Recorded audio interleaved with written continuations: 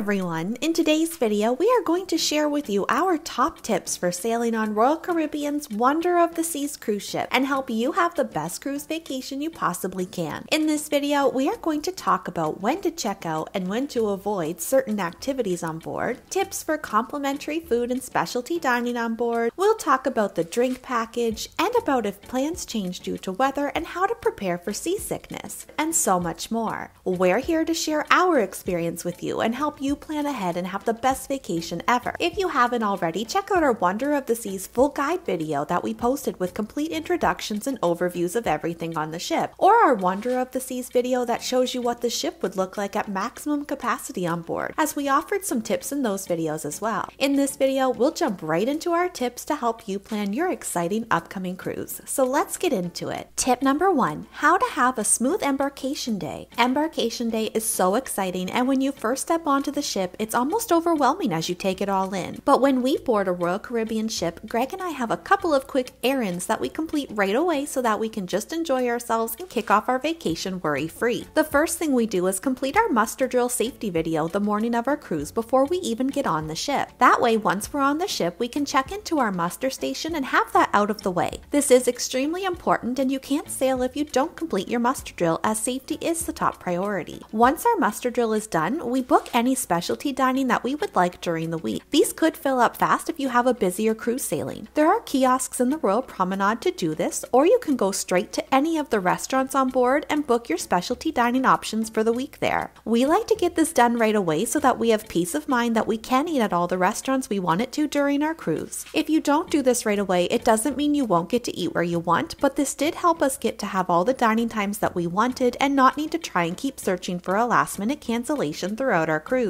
Once these couple of what we call our errands are done, we grab a drink, explore the ship, and kick off our vacation. Tip number two when to enjoy or go to certain activities or venues on board. So, as we just mentioned in our last tip, embarkation day is exciting. Everyone is getting on the ship and overwhelmed with all the fun things to do. You and 7,000 other people are extremely excited to check out everything on board. So, here are some tips for what to avoid and when to try instead. On embarkation day, some of your fun activities or venues like the Bionic Bar, which is the robot bar on board, or the Rising Tide Bar, the elevator bar that goes from the Royal Promenade to Central Park neighborhood on board, or maybe even the Abyss Slide, which is a dry slide that goes from deck 16 all the way down to the boardwalk on deck 6, are all going to be extremely busy because everyone is so excited to check these out. Our tip is to not stress about hitting all of these fun activities right away on day one, but also don't save all these activities to the last day either, as it is just as busy on the last day of your cruise. On our Harmony of the Seas sailing, I tried to cram in the Abyss slide and cram in the zip line and make sure I had checked out everything on the last day of our cruise, and that's when everyone's trying to cram in those last minute vacation memories. So, when should you check out these activities? We would say on any days other than the first and last day of your cruise, and if you really want to enjoy them with less lines, it's better on port days while they're open. We notice that mini golf or the carousel, for example, are less crowded in the evenings compared to during the day. If you want to enjoy activities throughout the day, like game shows or trivia, the smaller venues like Spotlight Karaoke and the Schooner Bar will fill up fast, so try to get there early. But activities that take place in the Aqua Theater, the Royal Theater, or the ice skating rink will have lots of space, so don't stress. This tip applies to guest services as well, but sometimes you can't avoid it if there's a problem or something you need help with. However, if you can, avoid guest services on day 1, day 6, and day 7, as those are the days of the cruise where the lines will be very lengthy. Tip number 3 Navigating the food on board. Let's dive into our favorite topic and share some tips about the food on board, both about the complimentary venues and the specialty dining venues on board. First, let's start with breakfast. Breakfast can sometimes feel a bit chaotic as there are less places open for breakfast than there are for lunches and dinners. On sea days, you can have a complimentary formal sit down breakfast in the main dining room. If you eat here, we highly recommend the French toast. It's thick cut brioche toast with berry compote and was the better item on the menu. I wouldn't recommend to order the Eggs Benedict as it was just okay. The Windjammer Buffet is up on deck 15 and is the large buffet on board. And as we mentioned in our prior videos, it's certainly the most chaotic. This is most people's go to location for breakfast. And while they have the best options and variety, it can feel like a lot when you first wake up. I would also recommend avoiding the Windjammer on embarkation day when you first get on board, as that's where everyone tends to flock to. We recommend to try the Solarium Bistro for breakfast, which is also on deck 15 and is a smaller buffet. This place also is very busy but was smaller than the Windjammer and had some more peaceful seating outside. Our top recommendation for breakfast is to go to Johnny Rockets Diner on the boardwalk. Johnny Rockets cost an extra fee for lunch and dinner, but did you know their breakfast is complimentary? This was a nice option to enjoy a sit down breakfast on the boardwalk without the chaos of the buffets. The breakfast meals we had here were pretty good too, and we felt they were much better than the main dining room options. For dinner, the main dining room is the main spot to go and is your formal sit down meal that's complimentary and included in your cruise fare. Before your cruise, you can book traditional early dining or late dining depending on your preference, or opt for my time dining, but you may need to wait for a table to open up. The food in the main dining room is complimentary. You can order more than one appetizer, entree, or dessert. If you're torn between a couple of things, go ahead and order them both. Or if you received your meal and you didn't enjoy it, the servers are more than happy to bring you something else. The only exception that you can't order more than one of is the lobster tail on lobster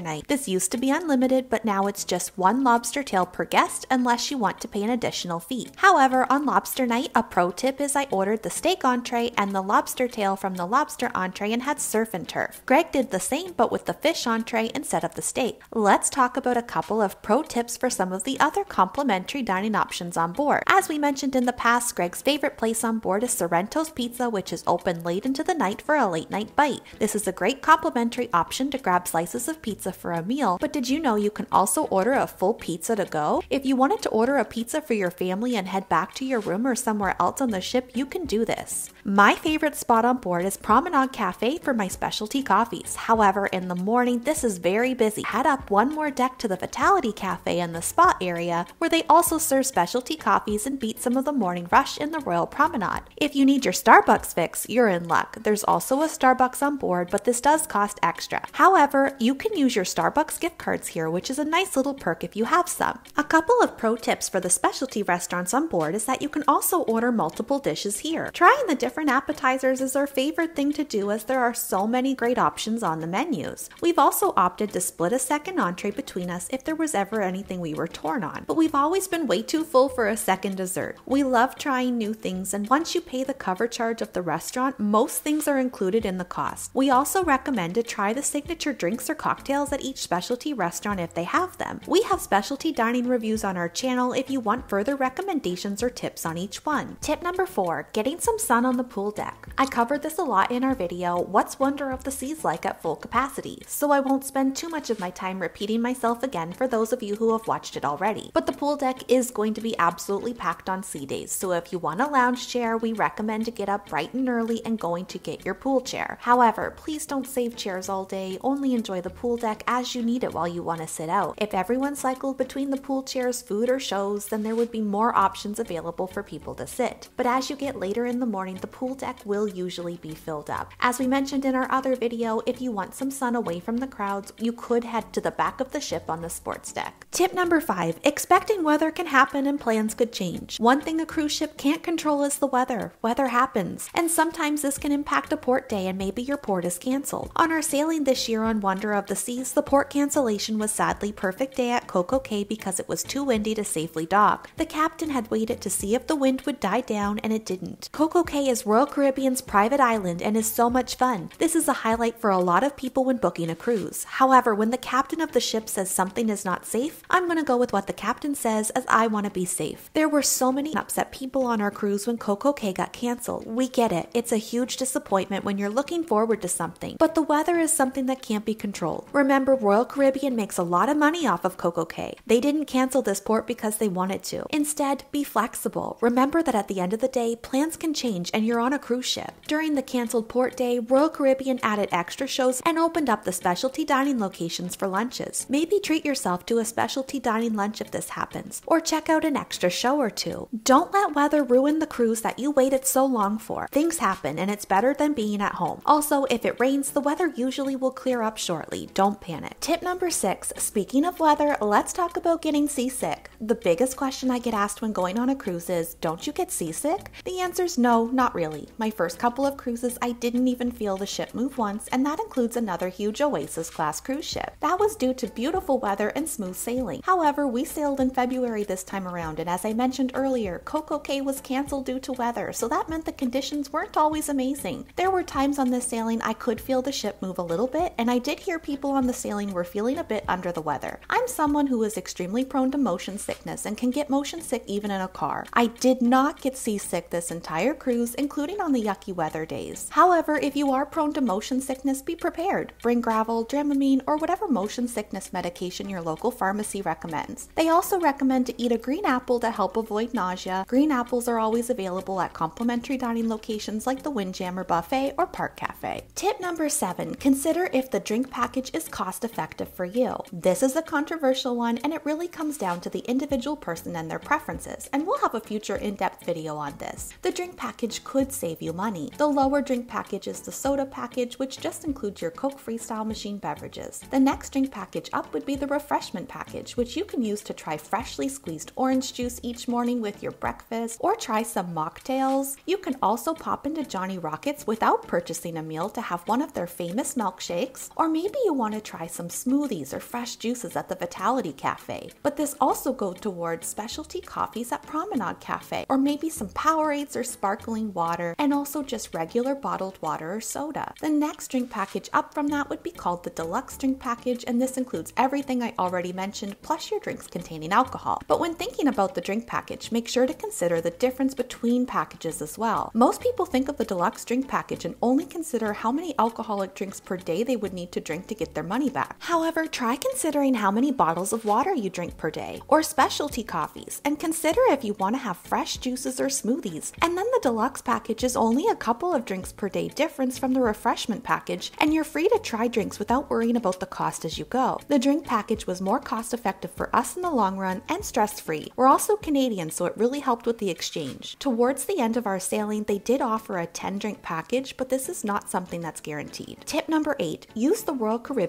app. If you use the app during your cruise, this will really come in handy. You don't have to have the internet package in order to use the Royal Caribbean app. The app will share menus of the restaurants and bars and share all the activities going on each day in your cruise compass. This will help you decide which shows or activities you want to see, and if you have an Apple Watch, it'll send notifications to your watch. You can also message members of your travel party through this app, which is nice if you don't have the internet package and you can still plan where to meet up for dinner. We didn't purchase the internet package during our cruise, but we did notice if you had an iPhone that iMessages were able to successfully send even if someone in our party wasn't on the ship. I wouldn't say this is something you could rely on always working, but it was a very happy surprise that we were still able to do iMessage while on our cruise and we could check in on how our fur babies were doing at home. Tip number nine book excursions through Royal Caribbean directly. We talked about this in our video called 5 Tips to Help You Plan Your Royal Caribbean Cruise, so if you haven't seen that video already, make sure to go check it out if you're still in the planning phase of your cruise. When booking an excursion, consider booking directly through Royal Caribbean. I know it costs extra, but think of it as insurance. If something happens while you're in port, then Royal Caribbean is responsible for getting you back on the ship. We did the opposite during our last cruise, and while in St. Martin, there was massive traffic jams and it took two hours to get back to the ship when it should have only taken 15 to 20 minutes. For peace of mind, book through Royal Caribbean and you won't have to stress. Tip number 10 If you forget anything at home, there are vending machines on board. These are really neat and found up on deck 16. If you forget something at home like medicine or toiletries, it's probably here for you to pick up. It can be pricey though, so try to remember to pack these items, but it is a nice backup option. They even have magnetic lashes, baseball cards, and Pokemon cards. Now it's time for a quick bonus tip, which is to look for or hide cruise ducks. People hide little rubber ducks all over the ship, and you can find them and either keep them or rehide them. Kids were having so much fun finding these during our sailing, and Greg was having a blast rehiding them for them. There was also a Corvette club on our sailing who hid Hot Wheel cars, which was really cute. We hope this video helps you plan your cruise on Wonder of the Seas. If you enjoyed this video, we would greatly appreciate if you would hit the like button and subscribe to follow along on our next adventure. We have a playlist on our sailing for Royal Caribbean's Wonder of the Seas cruise ship, as well as a playlist of our Harmony of the Seas sailing, so make sure to check those out. If you like Disney, theme parks, food, and travel, check out our channel. Thanks for watching!